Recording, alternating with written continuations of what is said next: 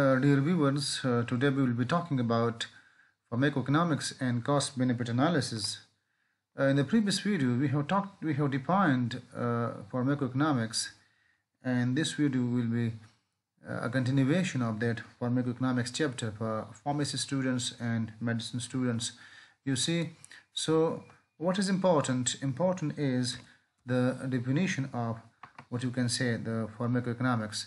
So we have been through in the previous video that pharmacoeconomics is a division of healthcare that identifies, measures and compare the resources being utilized, resources being utilized versus the services being rendered in a particular, uh, what you can say, services being rendered by a pharmaceutical care unit. So it is a process of efficient and effective utilization of resources for a targeted outcome. So this is what we have been through in detail, the definition of pharmacoeconomics.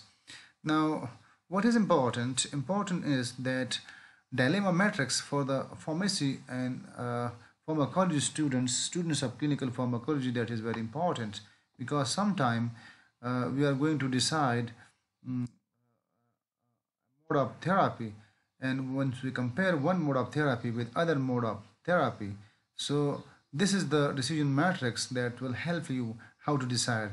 So suppose the, if the targeted outcome is worse the targeted outcome may be same and there may be a better outcome in shape of uh, in shape of clinical uh, management of a particular type of disease.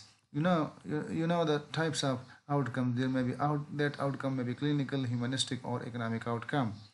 So if you are targeting the clinical outcome you see so that clinical outcome may be worse that clinical outcome may be the same or that clinical outcome may be may be better in terms of in terms of clinical success rate. So so so uh, in case of pharmacoeconomics, we we compare the outcomes. You see these are outcomes are considered uh, versus costs. You see these are all costs.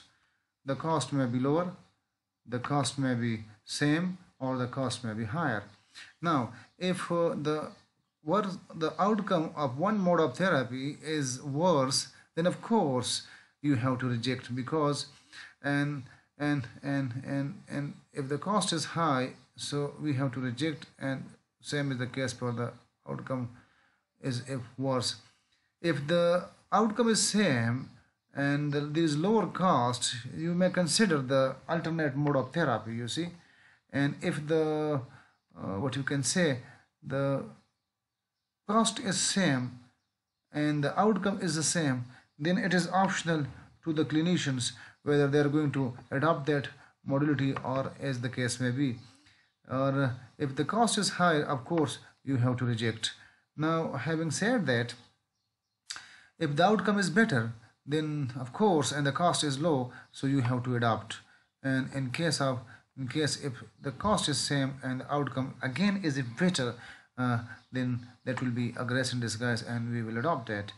And in case of the if the cost is higher but but the outcome is better then you can consider the cost effectiveness analysis and and the cost utility analysis or as the case may be we use the term utility especially in case of uh, oncology where the uh, quality of life is simultaneously considered so now this dilemma matrix decides whether you are going to adopt the alternate mode of therapy if the outcome is better and of course if the outcome is better we have to adapt. So regarding cost benefit analysis you see in as in pharmacoeconomics the resources consumed are are are are, are, are uh, what you can say being tested being being being tested being being utilized for the services being rendered but uh, here some details of the cost benefit analysis are that the salient features of cost benefit analysis are that both the variables are expressed in same units. And same unit means that that that if the resources are used so of course the resources are used in monetary term. For example unit may be dollar may be euro or as the case may be of currency of that particular country where the study is being carried out. And and the services being rendered of course the services are if rendered you see. There may be uh, good outcome and good outcome clinical outcome maybe maybe in shape of good pain management good uh, cancer management good clinical success rate. But but you see a good clinical success rate is is is is expressed here in monetary term.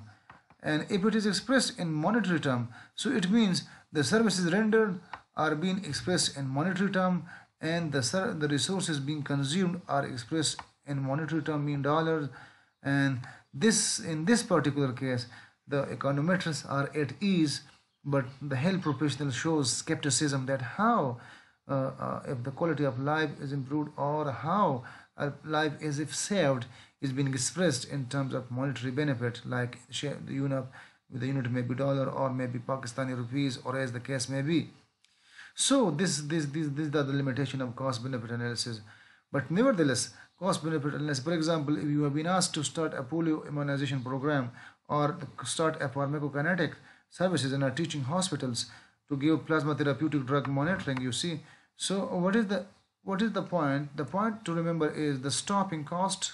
You see you may be cost you may be costing in shape of what you can say stopping hiring of certain staff you may be you may be you may be looking for certain equipments like high performance liquid chromatography spectrophotometers for pharmacokinetic analysis you see plasma level of drugs or mm, in case of polio immunization you see you you need equipment for the maintenance of cool or supply chain and the facilities being rendered uh, at the working working working field and in the hospitals for the storage of the what you can say the vaccines and same is the case for transportation charges and then the documentation charges. And of course the total cost is being considered. So the outcome you see is expressed in terms of monetary benefits and the resources being used is in terms of monetary benefits. And this is called cost benefit analysis you see.